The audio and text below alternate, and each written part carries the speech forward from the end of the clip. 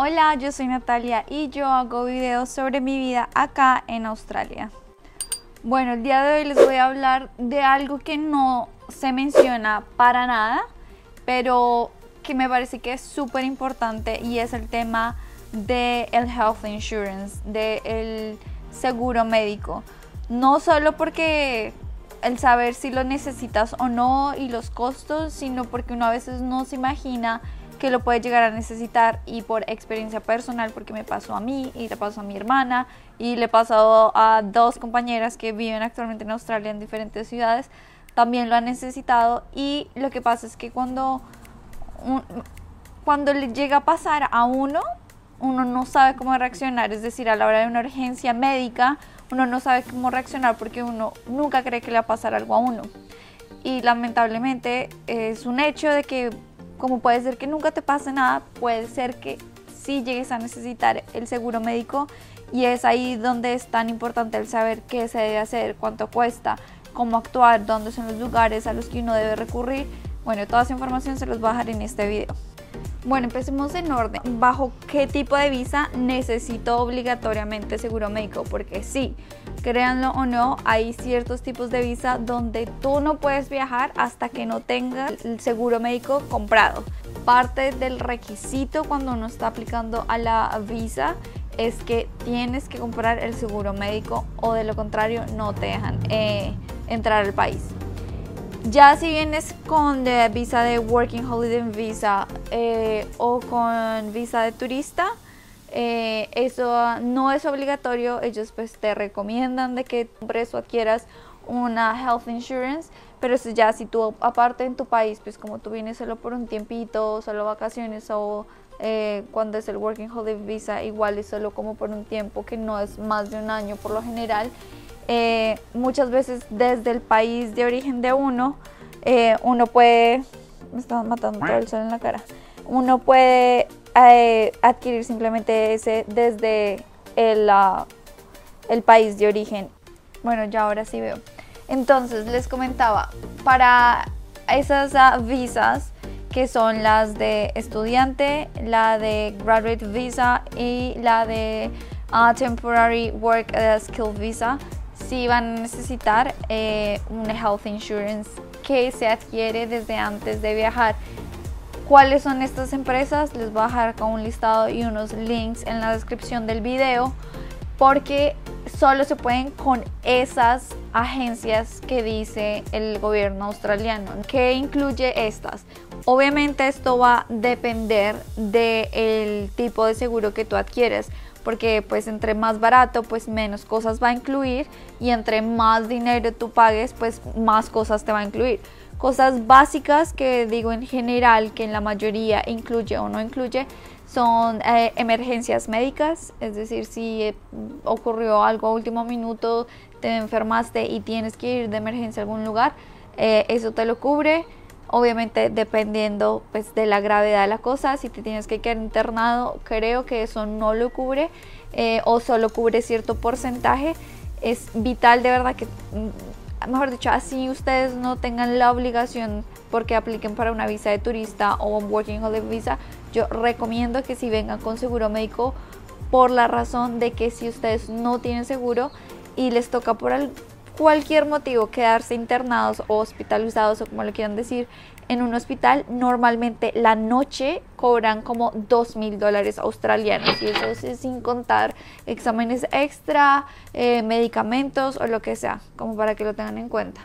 Entonces, cosas que no incluyen definitivamente, eh, cosas estéticas, alguna cirugía estética, eh, el tema dental, esto ellos lo consideran como estético, entonces no se incluye y es carísimo. Entonces hay personas que a veces prefieren eh, pagar un poquito extra y adquirir un seguro que ya venga incluido la parte dental. Eh, también la parte de la vista, eh, algunos seguros médicos no incluyen, entonces lo consideran como extra. Entonces, si tú quieres que vaya incluido por cualquier motivo, pues pagas un poquito extra. Como les digo, esto depende de, mm, del seguro que ustedes adquieran, pero en general más o menos eh, es así. Bueno, y ahora, ¿qué pasa? ¿Cómo activo esto? Cuando ustedes llegan a Australia, eh, se meten a la página web dependiendo del health insurance que ustedes compraron eh, y crean una cuenta, mandan ya la dirección a, a donde están viviendo y el health insurance les va a enviar en menos de una semana, como en tres días, el carnet en físico para que ustedes lo puedan presentar a la hora de ir al médico. Acá hay algo importante y es que acá se maneja algo que es, eh, se llama el GP, General Practitioner, y es como un médico general. Entonces, eh, hay dos opciones.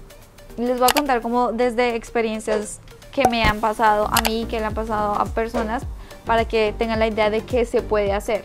Eh, por ejemplo, una vez a mí me pasó que me salió un orzuelo, orzuelo. Por primera vez en mi vida me salió uno y preciso fue acá en Australia, para parecer por el cambio eh, de estaciones, como yo no estoy acostumbrada a las estaciones, no sé, eso fue como en primavera, algo así, el polen, lo que sea. Y eh, como no era algo así como tan grave, pero a mí sí me incomoda mucho, lo que hice fue pedir una cita con uno de sus médicos generales, con un general practitioner. ¿Qué pueden hacer? Y es que si es médico privado, por lo general el health insurance no les cubre médico privado, pero les cubre como la mitad o un porcentaje, dependiendo del health insurance que tengan, les cubre un pedazo de lo que cueste la consulta. Cosas que deben tener en cuenta, uno, cuando es médico privado, cobran acá por tiempo, no por la cita como tal.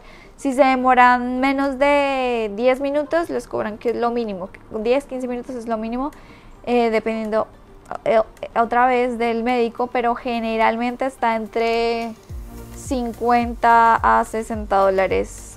Ya si te demoras un poco más, creo que es como 5 o 10 minutos más, ya le suben y es como 80 dólares. Más de 20 minutos es como 100, 120 y así.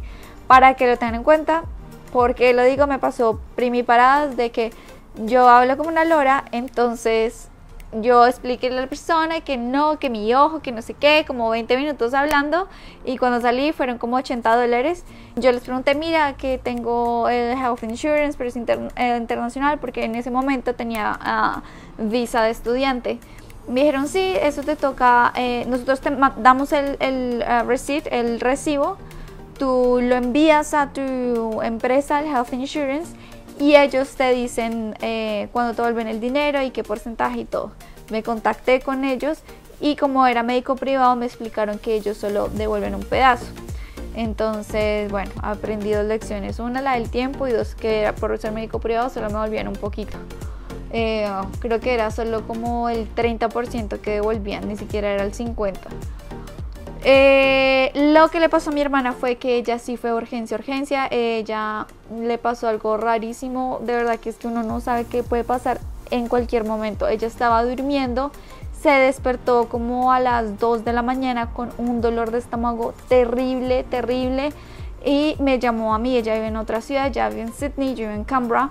Eh, si uno va manejando son aproximadamente como 3 horas. Y ella me llamó llorando que tenía un dolor, que no sabía qué hacer, que no sabía qué hacer, obvio, súper, yo muy preocupada, mm, yo, no, o sea, primero raro porque ella normalmente no llora eh, por un dolor de estómago, entonces sabía que era algo grave para que ella estuviera llorando. Eh, y le dije, ve a cualquier médico, no importa, luego averiguamos lo del health insurance.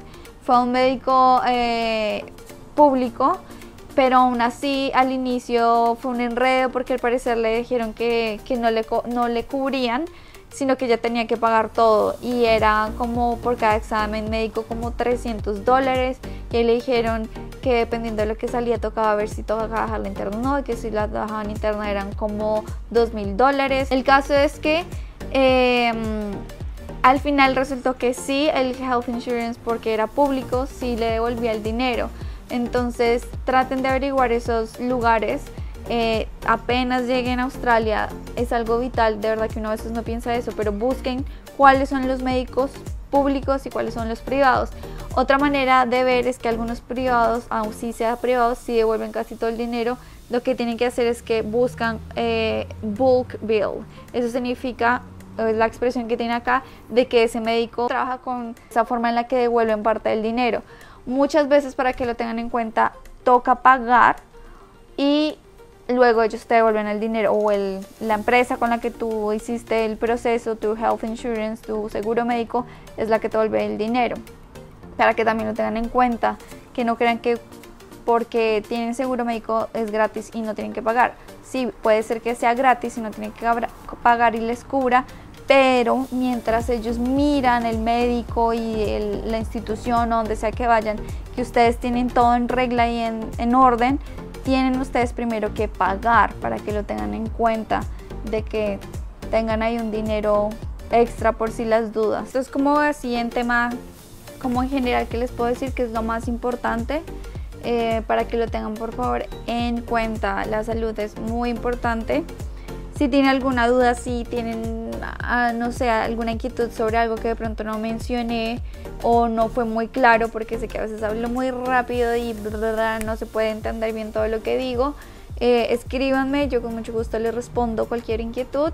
Porfa, no olviden suscribirse, comentar, darle like, compartir el video si creen que le puede ser útil a alguien, incluso a algún familiar o amigo que ya esté acá en Australia y que de pronto no sepa el tema y mire, de pronto le pueda servir el video, entonces porfa, compártanlo y nos vemos en un siguiente video. See ya.